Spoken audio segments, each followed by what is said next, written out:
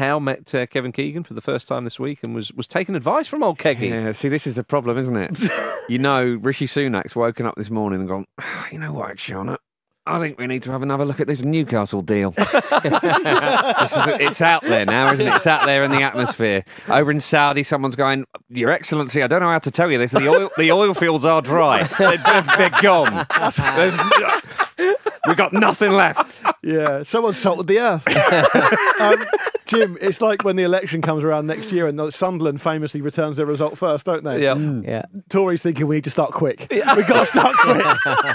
talking a bad start. Get after Newcastle. Get after them. They're proud in the shed in the in the Northern Premier. Yeah. People Still who- just Kieran Trippier marauding up and down the touchline on his own.